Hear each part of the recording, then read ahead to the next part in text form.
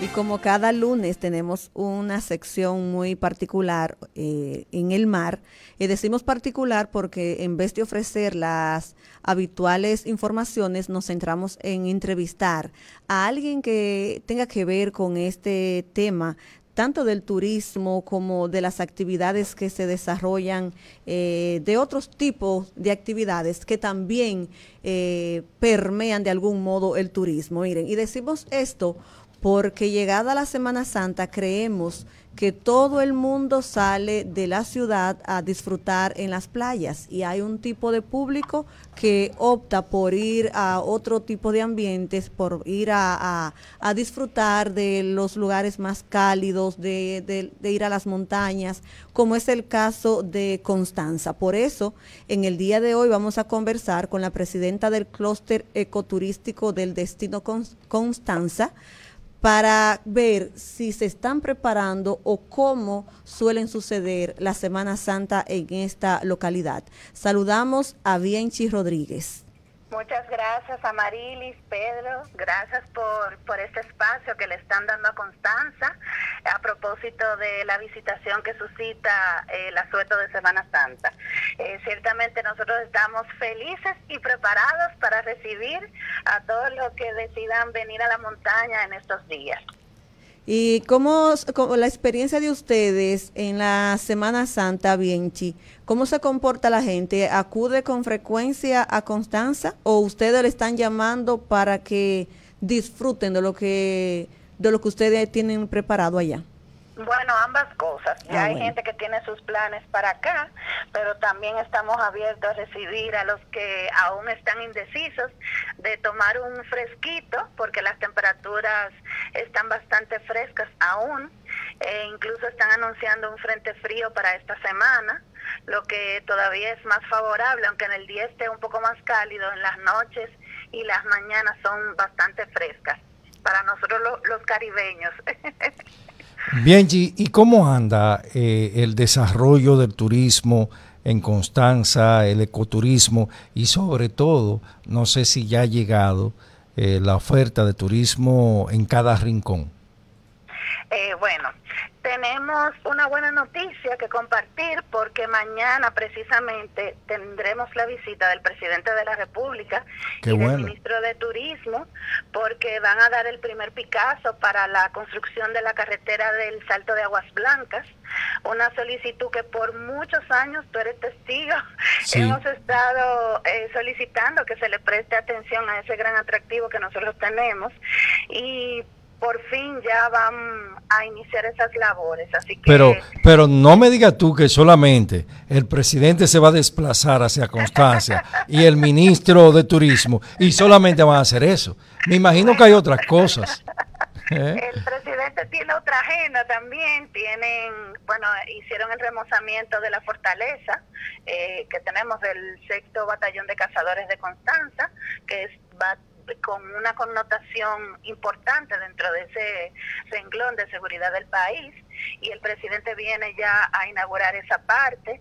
Tengo entendido que también viene a trabajar con los agricultores que estaban en la loma de Valle Nuevo eh, trabajando para terminar eh, el pago a esos agricultores y en la parte nuestra turismo específicamente para el primer Picasso de la de la construcción de la carretera de Aguas Blancas, que claro, también aprovecharemos para conversar con el ministro de otros temas.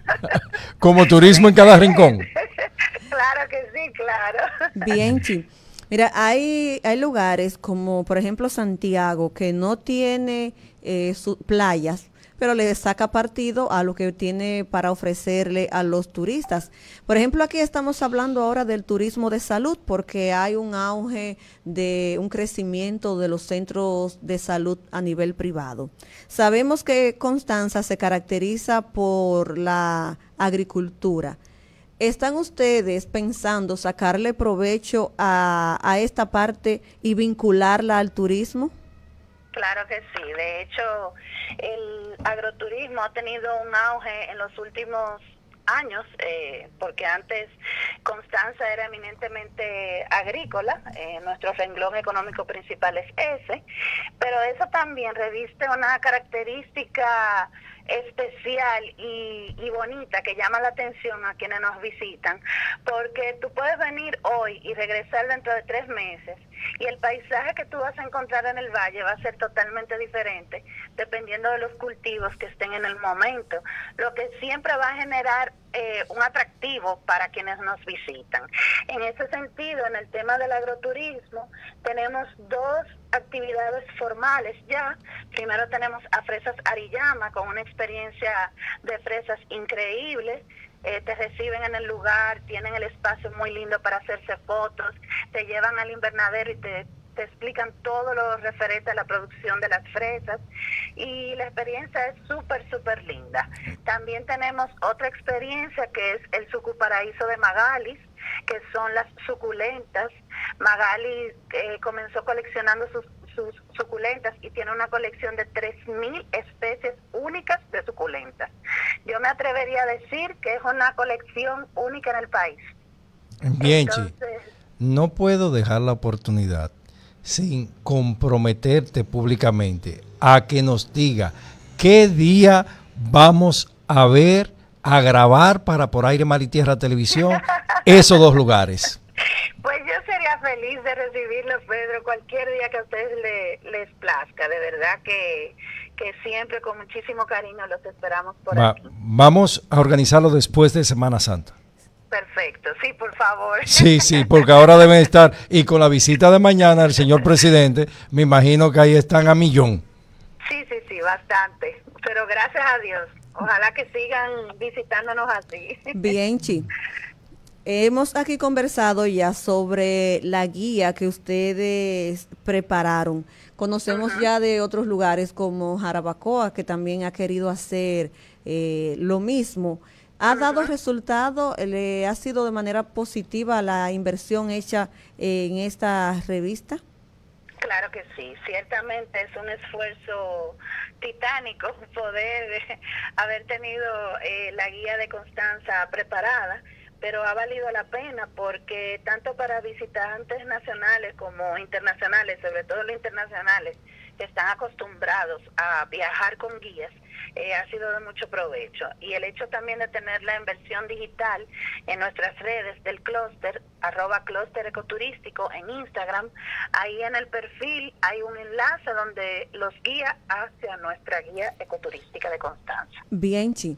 Hay un fenómeno que está afectándonos a nivel nacional y es el tema de la sequía.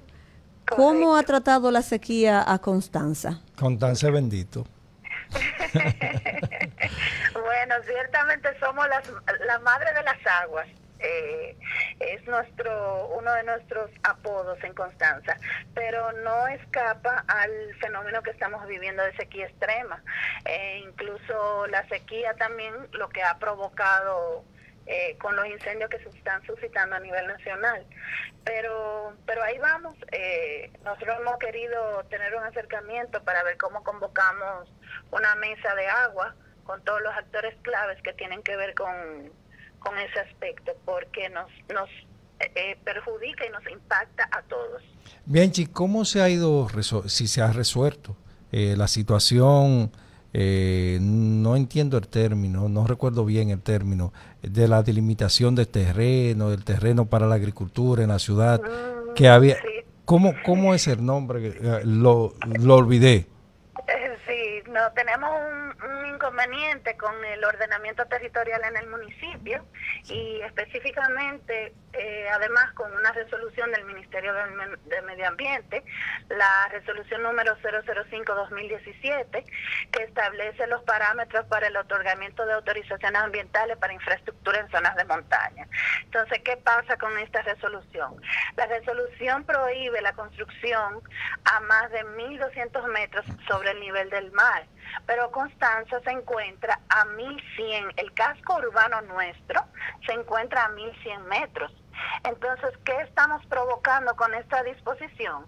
Estamos usando terreno de vocación agrícola para urbanizar y por consiguiente la agricultura se está desplazando a las montañas, lo que es más dañino para el medio ambiente que construir eh, en esas eh, laderas.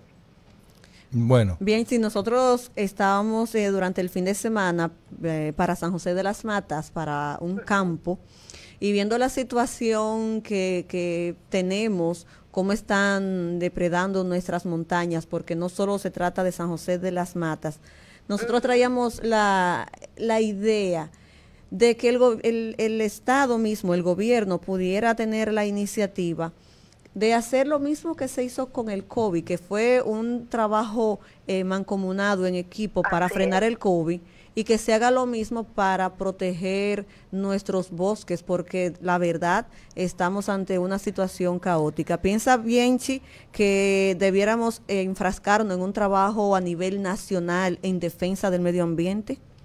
Sí, ciertamente el tema de medio ambiente debe de ser una política de Estado, porque no es tan solo el Ministerio de Medio Ambiente, ahí deben de incidir eh, varios ministerios en ese tema y no olvidarnos de la sociedad civil, porque nosotros como sociedad civil lo que queremos es el bienestar de todos. Entonces no podemos dejar de lado que somos una isla y cómo nos hace vulnerable el hecho de ser una isla en la parte medioambiental. Entonces eso es algo que nosotros tenemos que cuidar. Somos muy bendecidos. Hay muchas islas que, por ejemplo, no producen sus alimentos. Nosotros tenemos esa capacidad. El COVID eh, yo entiendo que demostró de qué estamos hechos nosotros, o sea, cuál es nuestro potencial y nuestro gran valor. Y aquí nunca faltó alimento porque es que nosotros tenemos el sistema, pero otras islas se vieron afectadas en, la, en garantizar la seguridad alimenticia por ese tema. Entonces ahí están vinculados medio ambiente y agricultura. Bien, y no podemos dejar de lado eso. ¿Qué significa Constanza para el abastecimiento de los hoteles en este momento, en materia agrícola? Eh, precisamente el COVID fue la gran, la gran prueba, eh, porque ahí se vio la frágil, o sea, la importancia, porque vamos a ponerlo, enfocarlo de esa manera, la importancia del abastecimiento agrícola del país eh, en esos momentos de cierre. Eh, tanto los hoteles en lugares de interés turístico como en restaurantes a nivel nacional se abastecen de constanza. Entonces esa es la gran importancia que tiene nosotros poder garantizar ese flujo de producción que al final se traduce en seguridad alimentaria. Qué bien. Bienchi, eh, ¿con qué población, si podemos llamarlo habitacional, con qué cantidad de habitaciones en este momento cuenta Constanza para recibir a los visitantes nacionales e internacionales? Bueno, esa, tú sabes que nuestro destino es un destino personalizado, no es un destino de masas, no es como Punta Cana u otras eh, localidades del país que que tienen, son destinos de masa. En cuanto a habitaciones formales, pudiéramos hablar de mil, sin contar los Airbnb que ahora han tenido eh, mucho desarrollo en el sector turístico. Eh, pero más que ver la cantidad, el tipo de turismo al que nosotros estamos enfocados es, es un turismo familiar, personalizado, donde tú llegas a un negocio y tú conoces a los dueños del negocio, por ejemplo. O sea, eso no te lo dan otros destinos que te lo ofrece Constanza y, y, consecuentemente su, su capacidad hotelera. Bien, sí. ¿Ofrece Constanza también las oportunidades o facilidades para quienes vayan a pasar Semana Santa puedan también hacer un, un turismo religioso al mismo tiempo? Claro que sí. Eh, de hecho, nosotros tenemos eh, la parroquia Nuestra Señora de las Mercedes con una serie de actividades eh, programadas para la Semana Santa, incluyendo el Viernes Santo, que a las 7 de la noche siempre hacen una vigilia por el pueblo vestidos de negro, con luces. para las personas religiosas eso es una actividad muy importante. Eh, también en lo referente a Semana Santa, eh, la parte gastronómica, nuestra bichuela con dulce y el mm. maíz con dulce. el sábado tenemos un festival de habichuelas eh, con dulce y maíz con dulce que comienza a las 10 de la mañana. Yo no he comido maíz con dulce, pero me llama la atención. ¿Qué ha comido, Ama? Pues claro que sí. Es el famoso chacá. Oh, pero bien, sí, pero a Pedro vamos a tener que darle un baño de pueblo. ay, sí, ay, sí, definitivamente. Porque el maíz, el maíz con dulce se vende hasta en las esquinas de Santiago y hay una gente que lo hacen mejor que otro. Y para aquellos que les gustan, lo bueno es probar diferentes sazones para ver con cuál se queda. Yo voy para Constanza eso, a comer maíz con dulce. Bien, finalmente. Eh, una invitación ya bien específica a aquella gente que va a salir y no sabe dónde, que todavía esté, está a tiempo de preparar su bultito y coger para Constanza. Sí, claro, nosotros los estamos esperando aquí con el, con el clima fresquito que tenemos, pero con las atenciones más cálidas que van a poder recibir. Constanza es una alfombra de colores impresionante, eh, además de sus atractivos naturales importantes como el Salto de Aguas Blancas, el Parque Nacional Valle Nuevo, eh, pasando por los, las experiencias agroturísticas y nuestra deliciosa gastronomía, porque aquí se come buenísimo y se come de todo. Pero antes de despedirme, yo quiero hacer la invitación y comprometerlos a ustedes, porque en julio tenemos el Festival de la Cosecha. Eso será del 13 al 16 de julio y es una actividad donde se expone todo lo bueno que tiene Constanza, todo el potencial que tiene Constanza. Y en esta ocasión lo vamos a dedicar a las colonias española y japonesa por sus aportes en el sector agrícola de Constanza. Ahí estaremos, Dios delante. Así es. Bueno, pues muchísimas gracias a Bienchi, quien es la presidenta del clúster ecoturístico de Constanza, quien ha hablado con nosotros, nos ha ofrecido detalles interesantes y ha dejado la invitación abierta para que visitemos Constanza. Bienchi, las puertas de por aire, mar y tierra siempre, siempre estarán abiertas para ustedes. Muchas gracias, encantadísima de escucharlo siempre.